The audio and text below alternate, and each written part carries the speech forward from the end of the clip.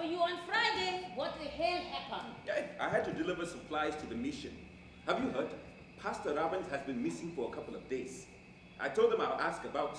The white pastor? Mm. I'm not surprised. He's got a big fucking mouth. The mission's better off without him. The only thing that old bastard ever did was pass out flaky aspirin and maybe a round of penicillin if you were dying. Well, rumor is the pastor's been treating wounded rebel soldiers. Really? That's what I'm hearing. Things are getting ugly over that way. Since when? Last week, the militias are battling for control of the area. It is impossible. What about Yaka Yaka Mine? Is the fighting scared of the miners? I don't know about the miners, but it's scaring me. I was just by Yaka Yaka. When I was there six months ago, it was a forest filled with noisy birds.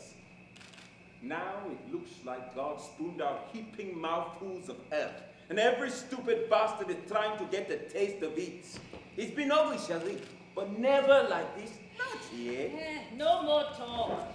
There'll always be squabbles, ancient and otherwise. Me, I thank God for deep, dirty holes like Yaka Yaka. In my house, I try to keep everyone happy. Hey, don't fool yourself.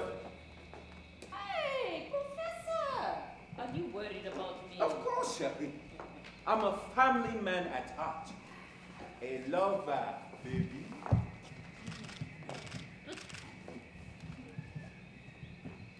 we, we could build a nice business together. I have friends in Kampala. Oh, I have friends in Bamako. hey. I even have friends in Paris, the city of love. You are a stupid man with a running tongue. And see, I have my own business, and I'm not leaving it for a jackass who doesn't have enough sense to buy a new suit.